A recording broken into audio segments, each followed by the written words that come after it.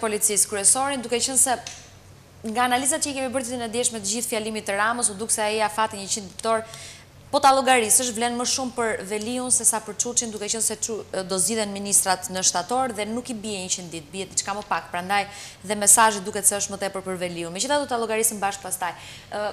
Çipa si tingëllon kur dëgjon kryeministrin të flasë kështu me drejtuesit e policisë së shtetit. Pra, komenti ishte, ka pronarë lokalesh që ju kapin për hundësh, dhe i drejtohej sigurisht krerëve më të lartë, ministrit dhe drejtorit të përgjithshëm të policisë.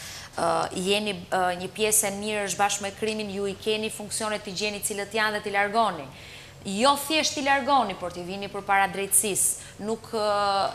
Foli për shqiponjat dhe pasi përmendi shqiponjat tha skifterët, çakejtë dhe çdo shtat tjetër i policisë ishte i ashpër. Gjuha e kryeministrit në komunikim me një strukturë siç është Organizata e Policisë së Shtetit është gjuhë politike dhe rëndom në një shoqëri normale dhe në një shoqëri të institucionalizuar nuk do duhej të kishim një komunikim të tillë publik sepse Në një lloj pikëpamje kjo rikthen atë që quhet norma e ripolitizimit të vetë policisë, të strukturës, të organizatës për të cilën flasim.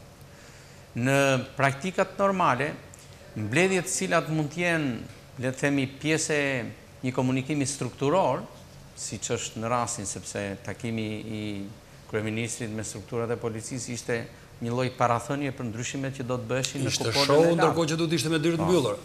Kjo duhet të ishte me, në kushtet normale, duhet të ishte me dyer të mbyllura ose në rrethana të konfidencialitetit institucional. Unë mendoj që ne rikthejmë fatkeqësisht gati të njëjtën normë të përdorur rëndom në tranzicionin postkomunist. Ky nuk është herë e parë që ndodh që ka një komunikim të tillë politik midis shefit të ekzekutivit dhe Policisë së Shtetit.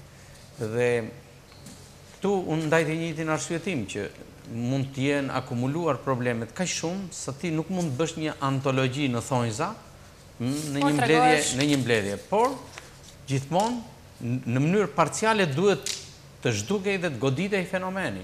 Dhe sot u janë u rreshtuan një sërë problematikash të cilat e prishin dhe e dëmtojnë shumë vetë imazhin e policisë. Dhe aq më tepër ky imazh dëmtohet kur bëhet fjalë për akuza që ngjiten në sferat e larta të drejtimit të kësaj organizate. Në kushtet tona unë do të doja që një autoritet politik si kryeministri t'i referohej më së shumti legjislacionit dhe marrëdhënies që ka struktura e policisë me legjislacionin, sepse ky legjislacion është amenduar në mënyrë të përsëritshme.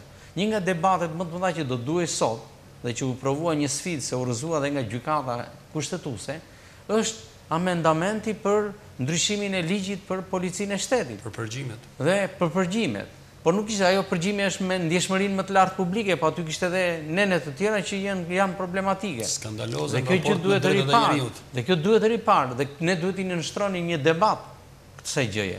Në dy në dy kategori, së pari pjesa jonë e gazetarëve që jemi interpretë të shqetësimit publik dhe ekspertiza që janë njerëzit e karrierës, njerëzit e rrafshit të karrierës në polici, por dhe të karrierës në jurisprudencë për çështjet e rendit dhe të sigurisë, se këtu janë çështje që ne duhet t'i trajtonim. E treta që mendoj unë që është një problem, ka të bëjë me faktin që sot, po ta shikosh, jo vetëm në perceptim, por norma e penalitetit dhe ndëshkimit është e lartë. Çështja është se ka elemente të selektivitetit. të cilat lënë hapësirë dhe për dyshim dhe për paragjykim edhe për kontestime që në shumicën e rasteve. Unë jam plotësisht dakord, por do të thoja që sa herë organizata e policisë nuk kryen detyrën në mënyrë permanente në raport me kriminalitetin, gjithmonë kërkohet të ndryshohet ligji për të ashpërsuar masat. Faktikisht ashpërsimi i masave ligjore nuk vendos rendin dhe sigurinë publike. Rendin dhe sigurinë publike e vendos zhvillimi pa kompromis dhe i vazhdueshëm i luftës kundër kriminalitetit dhe i rregullave e kontrollit, edukimit dhe kontrollit të rregullave të qarkullimit. Nëse ne do do të krijojmë hapësira boshe, duke mos e ushtruar detyrën, atëherë krijohet përshtypja sikur ligji është i i ka fajet. Nuk i ka fajet ligji. Sepse ata që e shkelin ligjin do ta shkelin ligjin edhe kur gjoba është dhjetë mijë lekë edhe kur janë njëzet edhe kur janë pesëdhjetë. Po. Pra, në aspektin Po si ta bëjnë?